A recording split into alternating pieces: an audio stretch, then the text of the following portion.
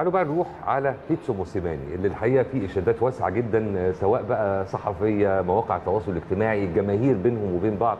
حضراتكم عارفين إن كان في فترة من الفترات كان في شيء من التحفظات على أمور بعينها ولكن الحقيقة في الفترة الأخيرة في شبه إجماع على جودة أداء بيتسو موسيماني. هنتكلم بقى عن الحوار اللي أجراه للموقع الرسمي للنادي. اتكلم عن حاجات كتير جدا من خلال هذا الحوار زي التحضيرات للمباريات اللي اللي جاية إن شاء الله. وقال لابد وأن نغلق صفحة دوري الأبطال مؤقتا من أجل التحضير لمباريات الدوري خصوصا أننا أمام مباراة مهمة مع فريق بيراميدز وهو فريق جيد مما يستلزم الاستعداد الجيد لهذه المواجهة.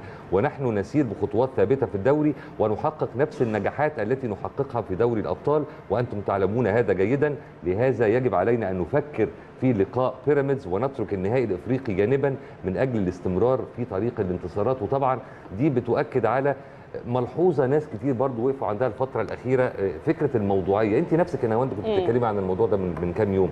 دايما في لقاءاته الصحفية بيتكلم بمنتهى الموضوعية ما بيكبرش الأمور عن حجمها صحيح، ما بيخلطش أمور ما بيدبش طاقيه حد لحد. لا، بعباره دي حقيقة، أدق دي حاجة ولو في قصور في حاجة معينة بيشير إن فعلا في قصور وإن إحنا شغالين على إصلاحها فدي برضو نقطة مهمة جدا وتفصيلة في منتهى الأهمية في شخصيته كمدرب أنا بتفق معاك مليون في المية ويمكن ناس كتير كمان ملاحظة النقطة دي لأن هو ده الصح هو ده المفروض طبعا. المدير الفني يكون أو ده الشكل المفروض المدير الفني يكون عليه أنت مش مفروض إن أنت تعظم من آه، حتى فوزك لأن اللي بيبقى فيه يعني الفوز بيجي وراه مباراة تانية بتيجي. وراه بطولة تانية فالمنهج ده أو النهج ده كلنا حتى إحنا كمذيعين تابعين لهذا الكيان جمهور تابع لهذا الكيان كلنا حتى في حياتنا بقى الستايل بتاعنا. كده بجد اتأثرنا أنا بيه. بقى بيتهيألي يا كابتن كريم.